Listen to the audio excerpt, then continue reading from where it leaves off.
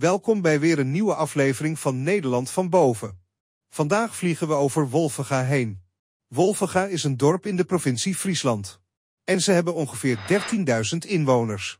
Vergeet niet om even op het abonneerknopje te duwen om op de hoogte te blijven van elke nieuwe video.